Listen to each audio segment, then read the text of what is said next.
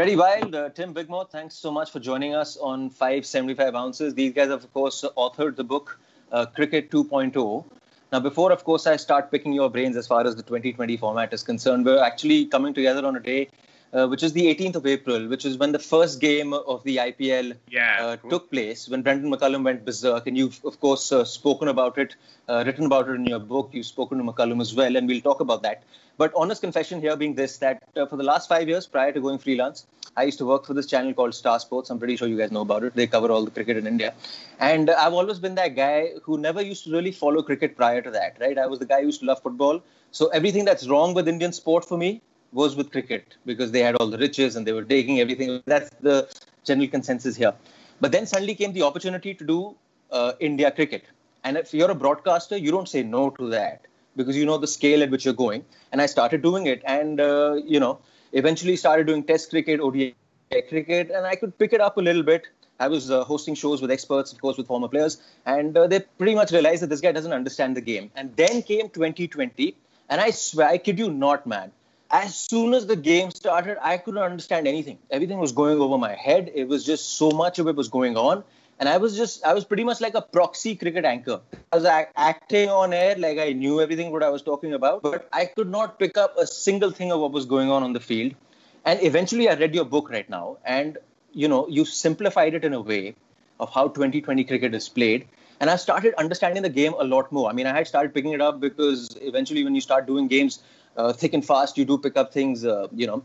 And uh, so I must thank you for that, firstly that if ever I do a Twenty20 show now, I can understand what's going on. But uh, can I just ask you guys, and either of you, was that one of the reasons why you wrote Cricket 2.0? Is there a general consensus that while the public likes the obvious, the six, the four, the target, the chasing, the star, they don't really understand the finer nuances of the game and how different it is from 50 overs and Test cricket? Yeah, absolutely. So I think there's almost like a, a secret a secret language um, yeah. in T20, and it's been like indecipherable for lots of people and uh, almost like what the media says about T20 compared to what, what happens in reality is more different than what it's true for ODIs and Test cricket. So people, because it's people like to sort of simplify it and say it's hit and giggle, it's about just trying to smash the ball out the ground, and then we we ignore what's actually really going on. And what yeah. we found is we almost wanted to to read a book that told us this, and we couldn't we couldn't really find it, so we thought we'd try and write it ourselves. So we've given it our, our best shot, basically.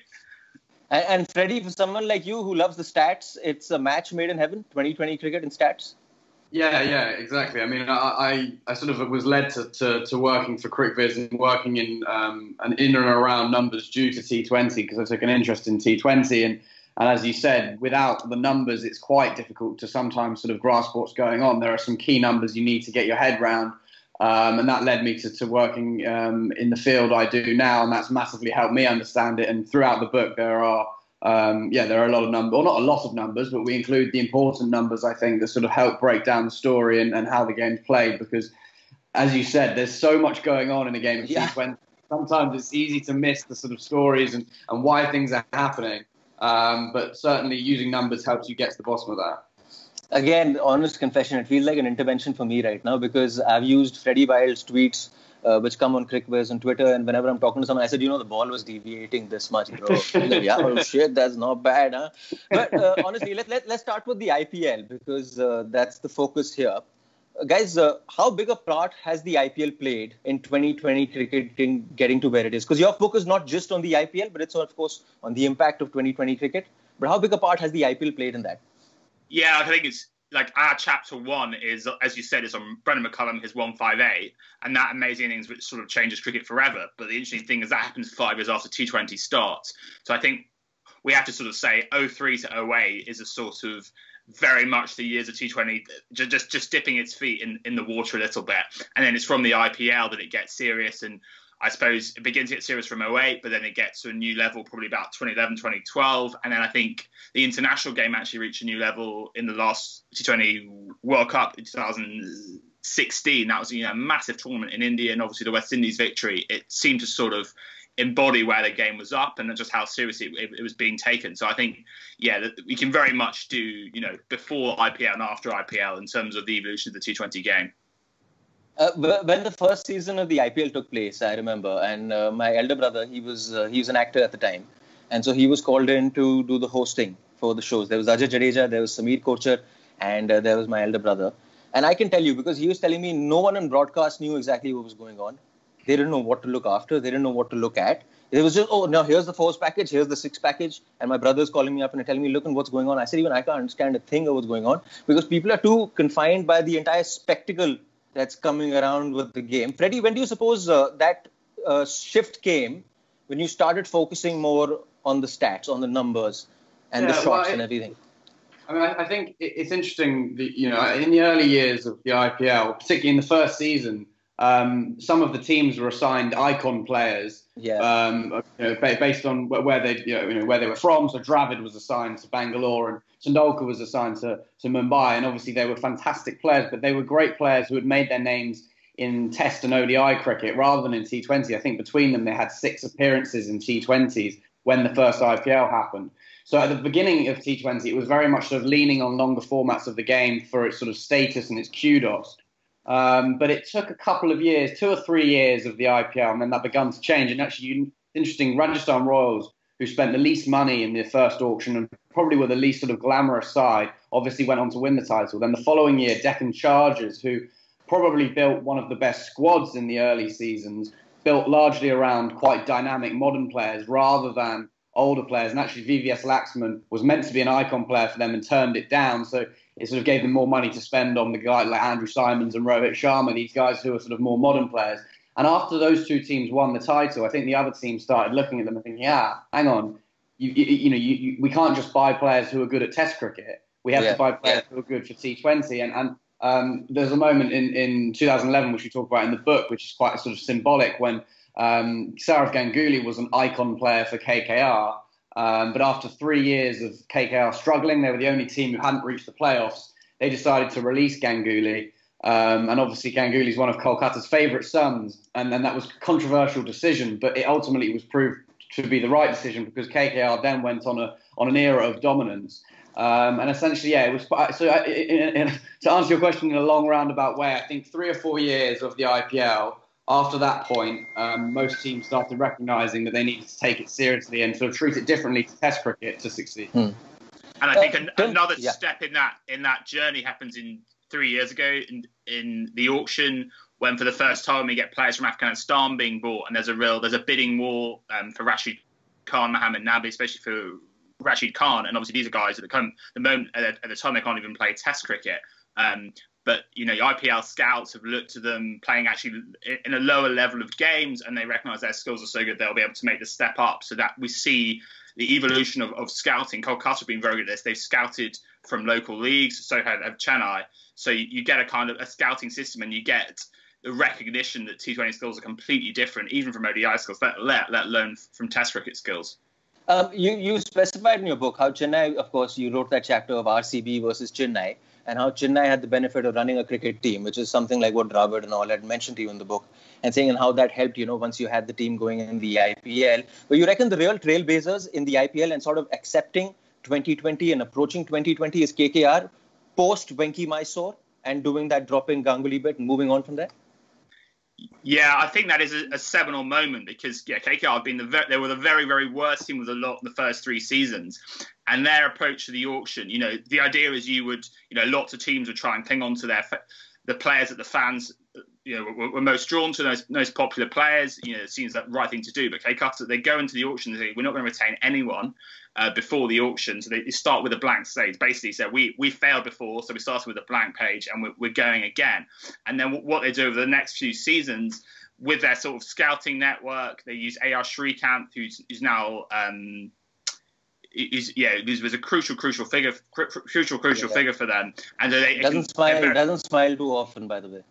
Yeah, but he's, well, he's actually got a lot to smile about, but he's always planning his, his next move. But, but they were very effective at scouting. So, you know, they get people like Sunil Narine, Andre Russell, they with uh, as well. Um, there's, there's, uh, with, with Yadav, uh, you know, a crucial player, and he's actually um, seen by, by by Srikanth, and he sends a text to Trevor Bayliss, who's a coach at, at the time, and then they that leads him to sign him. So they have a kind of a much more rounded approach to, to signing players, and then, and then that turnaround. So they, they they go from being hopeless in the first three years to win the league in 2012 and 14, and that mm. really that shows what's possible if, if you if you use the numbers. You know, you, you talk to Venki Mysore, and he yeah he's very open, almost very proud that he, he relies on numbers a lot. It's not the only thing, but he he, he says, you know, your, your gut instinct is probably going to be wrong more than your, your numbers are. So you, mm. you you try and use numbers in a, in a clever way, and that is I think that's a catalyst to a, a, next era of growth. And, and if you flip it the other way, we talk about our chapter, we're probably not going to be popular in, in Bangalore, but that's, that's a different matter. But our chapter where we look at Chennai v Bangalore, I mean, one of the things about uh, Bangalore, there's a lot of, uh, we talked to Brendon McCullum, he says there's a lots of, of white noise in in Bangalore. Yeah. There's a, a, lot going on. It's all kind of confusing, and and they gravitate towards signing the best batsmen. You know, the, the Galacticos. You know, they've got Virat Kohli, AB de Villiers, Chris Gayle, Shane Watson. You know, the list goes on. Um, and these are all the sort of superstar names, but they don't. They just don't sign enough good bowlers, and without good bowlers, you can't win in T20. So they're an example of actually a team who probably haven't evolved their approach. They've they've almost stuck with the approach in the first years, sign the most glamorous players, see where that leads you, and that's been for them a bit of a, a road to nowhere. They still haven't won a title, of course. Uh, Freddie, in terms of numbers, uh, is there that one season for you that sort of tells you, you know, people have started understanding the game a little more? When you analyze numbers season on, 2008 to now, present day. There's probably not a single season. As, as Tim says, the moment when, when KKR start adopting um, data for the auction is significant. But I think I, I think probably broadly speaking, the you know as the origins of T20 originally were very much about sort of entertainment and, and fun and sixes, it probably about halfway through the most recent decade, so around 2014, 2015, there was a bit of a wave. So this is probably a couple of years after KKR adopted a more rigorous auction approach. That then sort of begun to be applied on a broader level. So the media, or, all the other teams, and the media more generally have got a lot of catching up to do in terms of where the teams are at, and the teams themselves have got a lot of evolution still to go. But we are now beginning to head in the right direction. And um, you know, people like myself and Tim, and, then there are, there are you know, quite a few other people as well who are prioritizing T20 and seeking to understand it. Um, I think that that, uh, you know, as a whole, is sort of pushing the discourse forward. And, and 2016 World Cup, Tim mentioned, was a, was a symbolic moment. I think that was the first sort of the first World Cup that was taken very seriously. You know, there was a, mm. a lot of analysis and shows around. It. Obviously, Star always do hours oh, of build up. Tell me about it, man. I was just nodding throughout the shows like that. And more and more um, you know, getting stuck into the numbers and, and trying to sort of um, break down the game in the same way that teams do. And as a result, I think understanding of the T20 format is now picking up some pace. And, and that, even, sorry. Sorry, yeah, just say yeah, yeah the, the, World World Cup. It also showed the different styles of playing T20. So we saw the West Indies. You know, their style is we don't care about number of dot balls because we will back ourselves to hit more sixes than anyone else. And we had that amazing game that Wankhede in the semi the semi final um, was there. It was just a remarkable game because India, with a very kind of in some ways an old school approach, so they were scoring off every ball, scoring lots of twos. It was a very it was what we would think of as sort of smart cricket in the kind of from a one international point of view, you know, you have very few few dot balls, you, you run very quickly, etc. And the West Indies had over twice as many many uh, balls they didn't score a run from. So you know that seems like they're wasting a lot of balls, but they hit so many sixes. The end they, they chased down West India get 192, and West Indies win win pretty easy in the end. Yeah, and yeah. that showed that was such a so both teams have scored 190, but they've done it in completely in different ways, and that showed the sort of different strategies in T20, and it, it's a little bit like we see in, in football. There's you know there's there's different ways to, to skin a cat, and we're beginning to get an appreciation yeah. of that. Tim's bringing up bad memories here. yeah, yeah. So I'm banned from Mumbai and Bangalore now. Half the people have already switched off from the show, by the way, right now. So only five more people are watching it probably after that. But uh, my, my point being, uh, Freddie, uh, you know, where do you stand on this debate? Because this debate has happened uh, off camera with a lot of people uh, a using stats and numbers but do you find the balance between sporting excellence and talent? And how do the two merge? And do sometimes yeah. teams go in excess as far as the stats and numbers are concerned? Yeah for, for, for me and I've, done some work with some teams and coaches around the world you can never be entirely led by the numbers. It, it's you know whilst i believe in them a lot it, it is it's silly to, to just completely follow what they say because there are always caveats and nuance to these to the numbers and, and there are other things you've got to consider, um, not least sort of how a person fits into the dressing room, which, um, as some coaches have joked to me before, we need a column in a spreadsheet for that, but we can't quite measure it yet. But, you know, it's something maybe in years to come we will be able to. But, you know, is, is a bloke a good guy or not? is not something we can measure yet. But, but that that's the kind of thing you know you do have to consider it. Team dynamic, um, age, fitness, where they performed, and, and to a degree we can we can measure these things. Um, but there are some things that you're, you're never quite going to be able to grasp, and that's why ultimately I think the best combination is is using the numbers and then using the sort of cricket expertise of the coaches and, and, and the general managers to form a yeah a, a synergy of those two things, which produces ultimately right. This is a list of the best players according to the numbers, but there are five guys here that we're going to strike out for whatever reason, and this is who we're going for. That's the kind of dynamic I think you've got to try and create. And it's something that Venky speaks about in the book, and other teams that have been successful do the same. You know, it's not complete reliance on numbers, but it's you know you, you lean on them for help. You can't watch every game, and you can't understand every game inside out. So the numbers are there to help to help illuminate the stuff that you can't see, I suppose. So then, Tim, isn't it, isn't it really strange that for a country that gave birth to the IPL, which is the the strongest domestic T20 league in the world, for large parts of their approach to international cricket, it was very un T20 like. And it's only in these last couple of months that they've decided to change that approach. Yeah, there's a real irony here that India won one uh, T20 World Cup, and that was before the IPL was created in 2007, which was almost an accidental victory. You know, they, they sort of picked their kids, and it, it worked really well. Um, yeah, there's, there's something I mean, we talk about in the book when you're batting different approaches, and you see some teams they overvalue their wickets, so they they play almost like in they almost haven't trained themselves out of the longer formats of the game, so they place too much still on their wickets, and we probably saw that again. I'll t- t- t- I keep talking about that semi-final last World Cup because it, it was just such a seminal game in in sort of in T20's evolution, and it showed that actually hitting sixes, especially on good batting wickets, you can't. That's so so valuable. So I think India's approach they, they've needed to shift a little bit away from trying to score off every ball to trying to accept maybe a few more dot balls when to score some more boundaries instead.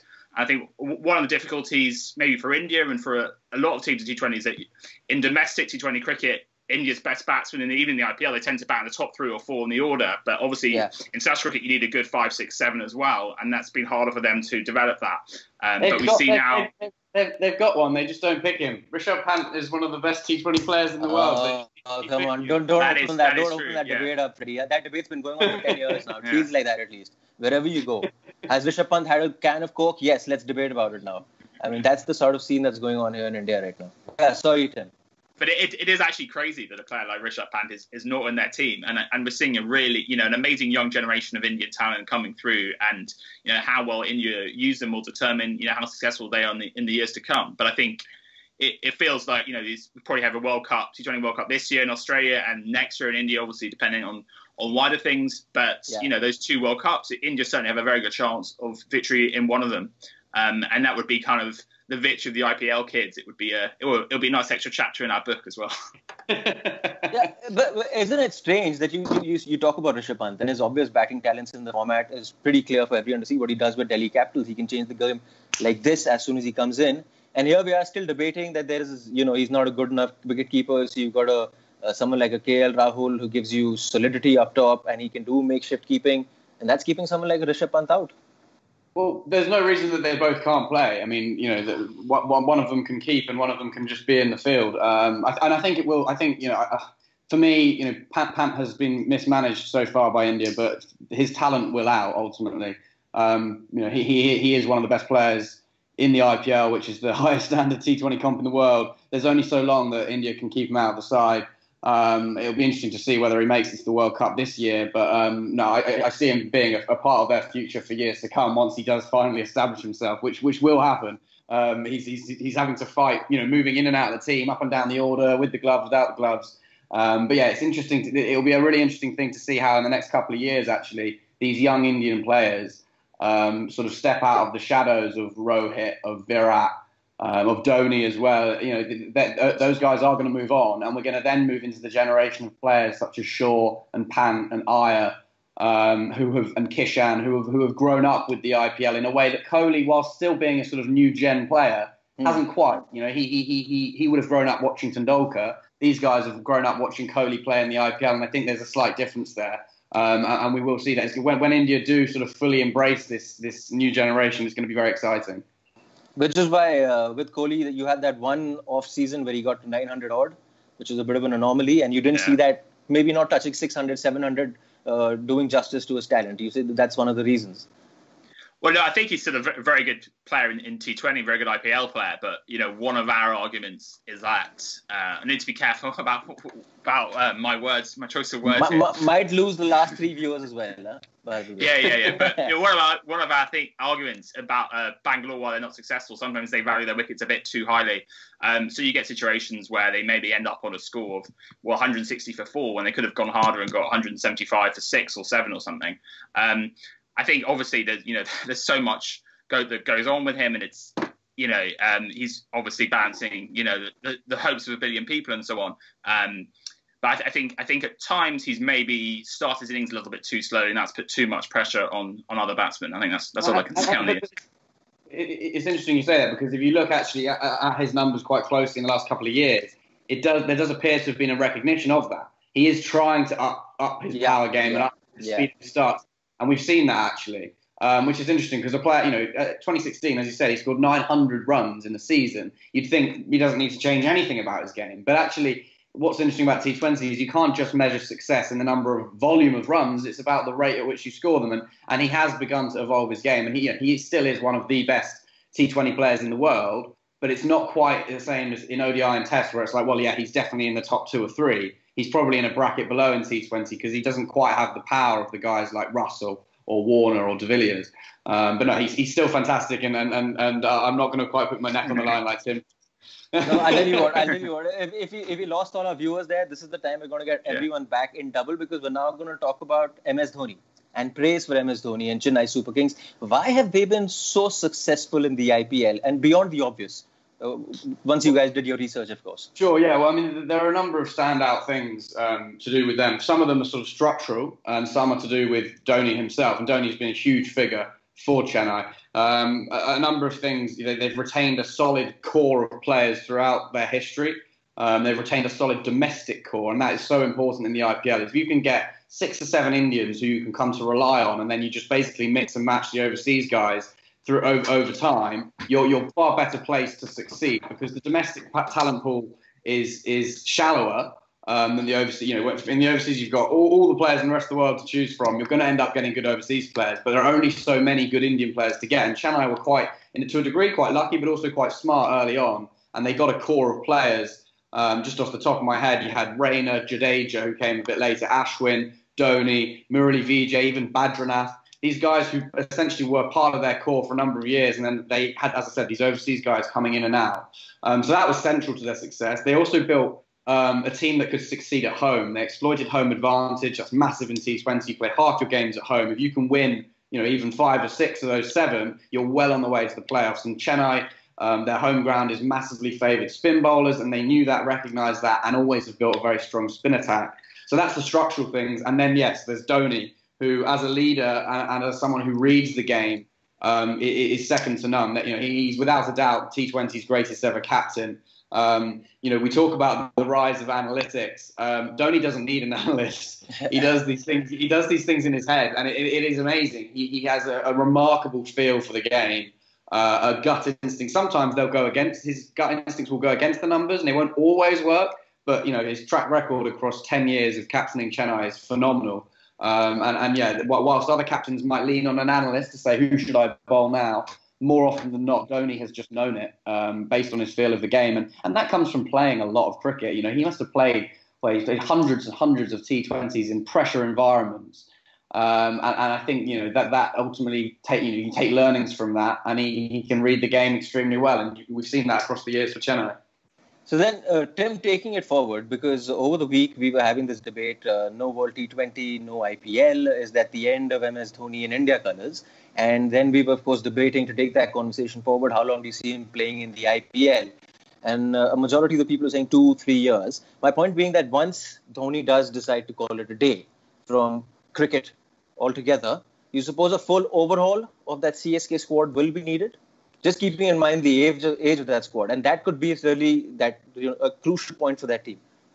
Yeah, so the aging point you make is very interesting because you people one of the initial things when T20 came around, everyone said it's going to be a young person's game, going to be young, dynamic. But but with Chennai, even the West Indies, they've gone the other way. They've got a very experienced team, and actually we find that experienced teams do so so well in T20 because experience of dealing with situations, experience of pressure is so so valuable, keeping your cool. And we see that with you know, the Chennai team. You know, people were laughing at how old they were in the auction a couple of years ago because they signed you know Dhoni. Dwayne yeah. Bravo, lots lots of older guys, you know, north of 35. Um, they were called they were a dad's army. They were called, but they, you know they went on. They, they won the IPL 2018. They lost by one run the final last season. So experience is so so valuable. I think, but you lose a player like Dhoni, who's really defined their team the whole the whole way through. That will that will leave a massive hole, and they might think, you know, how can they how can they tinker things a, a, a little bit? Um, and you need to. One of the things about T20 that we talk about in the book a lot, you always need to evolve. It's really if you're if you're not moving forward, you're, you're going backwards. So we see so, some very good players, and they just cannot, and they just do not keep evolving their skills, and they get left behind. So there's Joe Root with England, for example, who I think has all the tools to be a good T20 player. But he's barely he played so well in the World Cup four years ago, but he's barely played since then. And when he has played, he's really, really struggled because basically the game's evolved and he hasn't evolved with it. Um, so that will be true for Chennai, That'll be true. You have to keep on evolving. But I think I think that they've got a very shrewd method, and one of the the key things that they they do and they recognise is that there's there's kind of a randomness in T20, and they don't overreact to to losses. And we see that you know we talk about in our book, you know, when Chennai uh, lose a match, they make half as many changes for the next game as Bangalore do. So you know they understand that you can play quite well, then an AB de Villiers or Andre Russell can take the game away from you, and that's kind of just how it is. And that's part of the kind of I think the genius of, of MS Dhoni. He understands his randomness to the game. He doesn't overreact to defeats, and that enables him to kind of keep the show on the road, keep keep nice and steady, and uh, moving forward. Guys, just uh, last question as far as the game is concerned, because I want to move on to some other chapters you touched on as well. Uh, that being uh, the doping side of things, that being the fixing side of things. Uh, the one last thing, Freddie, if I were to ask you, since we are educating people here about what Twenty20 cricket is all about, what would be that one blueprint to how Twenty20 cricket is played? Uh, can can you put it down to one blueprint, just given the fact that there's so much going on? Oh, it's a good question, and there isn't one sort of a magic formula to winning. Um, if there was, then um, uh, you know the teams that we work with at CricViz would win every game. Um, but there are some key things that you can pinpoint um, amongst successful teams uh, that, are sort of common themes, I suppose. Stability being one of them. Re- retaining a strong, as I was alluding to with Chennai, having a strong domestic core is essential. Um, generally speaking, you know, when T20 came around, there was a focus on batsmen. Um, it was going to be a batsman's game because you know the game was all about sixes and fours. But what we've seen is that bowlers have been the the, the key to, to, to long term success anyway. Um, so whilst you know there, there is no magic formula and, and batting heavy teams can win, I think if I had to say one thing that teams should do, and that's generally build a strong bowling attack. If you can get a, you can get together five good bowlers, it becomes very difficult to take that team down. Uh, one weak bowler can cost the team a game. They've got to bowl 24 deliveries. Those 24 balls nowadays, with the way the batsmen play, the efficiency of attack, they can take them for 50 runs. That, that's enough to lose the game just like that. But if you can get five bowlers who lock down 20 overs, it's very difficult to, to beat those kind of teams. So, yeah, there is no magic formula, but bowling is, is probably the priority, I would say, when putting a squad together. So then, Freddie, what do you make of this over reliance by teams on win toss, bowl first, and then let's chase whatever target that's set for us? Uh, because if, if, if so many people were using it non-stop. There was one season when everyone was winning toss, well, bowl first. Yeah. yeah. It's it, yeah. I mean, it's, it's it's partly to do with. I mean, there's two things at play there. One is just the psychology of knowing what you've got to chase. Setting a score is difficult. Um, you've got to read the conditions and you've got to suss out. Um, you know, you might you can look at the stats and okay, so 180 might be par at this ground, but you know, today the pitch might be a bit better or a bit worse, and that that that time of processing that um, ultimately can cost you. Um, so that's one reason why teams like to chase, and I understand that. And secondly, particularly in Asia, just the dew factor is, is massive. Teams are very reluctant, especially as teams have more and more spinners now, because we're seeing spinners being so successful. Um, in, in India, in particular, heavy dew obviously causes trouble for spinners. Um, so they try and, yeah, batting first simply, oh, sorry, um, bowling first avoids that. Um, and sometimes the Duke can help the ball skid on, under lights as well. So there are a number of factors at play there. But it's worth saying as well that chasing teams still only win just over half T20 matches. A lot of most teams choose to chase, but it's not like they always will win if they chase. Um, it is a slight advantage, but not a massive one. Hmm. Uh, Freddie, it's 11:20 UK, man. Do you have time to stay with us, or do you need to head? Uh, five more minutes I've got, and then I'll have to go. So then, That's anything else you want to add? Because then I'll uh, talk to Tim about the doping and uh, the fixing and all. Uh, just, just one, more, one, one, more point, I suppose, on, on the toss um, bias there that, that, that we mentioned. Um, one thing that teams recently tried to do is basically uh, there are a number of teams you recognise that most teams who won the toss are electing to chase. So what what you can do is if you build a team and a strategy um, defined by defending totals, um, then you can actually, you know, you're in a stronger position at the toss. If you lose the toss and you choose to chase because chasing generally is a slight advantage, then great. Um, so if you win the toss and choose to chase, then fantastic. But if you do lose it and you are put into bat, but you have a bowling attack and a strategy that's defined by defending scores, then you actually can win either way. With you know, you're not losing out at the toss. And Sunrisers were a team in the IPL who did that quite well. They became very good at defending totals, essentially with a strong bowling attack and making sure they got to about par every time. And then the Adelaide Strikers in the Big Bash were another team in 2017-18. They won the Big Bash and they actually opted to bat first every time. Every and that year there was a huge chasing bias in the Big Bash. Every team, apart from Adelaide, wanted to chase, but they chose to bat first, and it meant that they were in a great position because even when they lost the toss, they were doing what they wanted to do.